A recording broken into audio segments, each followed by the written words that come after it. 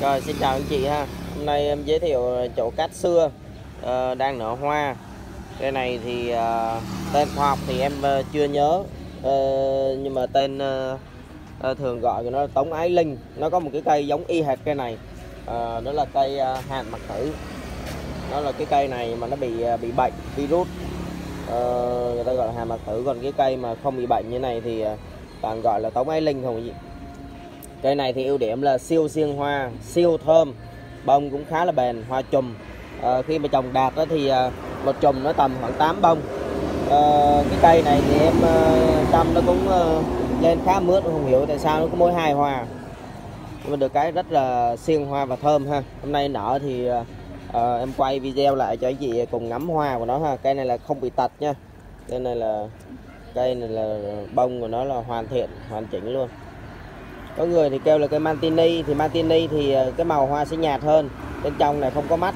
À, khuôn hoa phần trên này thì ờ, đúng chính xác là Mantini nhưng mà cái màu hoa và phía gân này thì không phải cái gì. Cây này thì à, à, em cũng không rõ là cây gì luôn. Chưa tìm được tên. Hôm nay quay cho anh chị xem ha. Cây này siêu khỏe nha anh chị.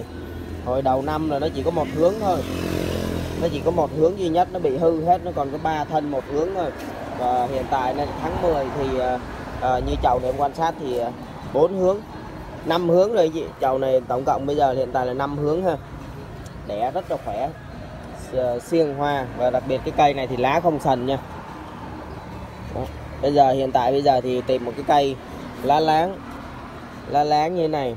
À, hoa hoàn chỉnh nguyên vẹn như này thì thực sự cũng rất là hiếm. Em cũng ít gặp. Đó, hôm nay thì uh, nở hoa hơi ít một chút ha nhưng mà hoa cũng rất là căng.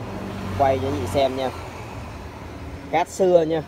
Bây giờ chỉ còn nhớ là tống ái linh thôi.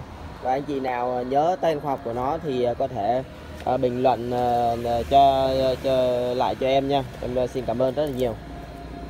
Rồi xin chào anh chị nha. Khi nào có những cái cây cát xưa đẹp uh, hoa đẹp nở em sẽ quay cho mọi người xem tiếp nha. Xin chào anh chị ạ.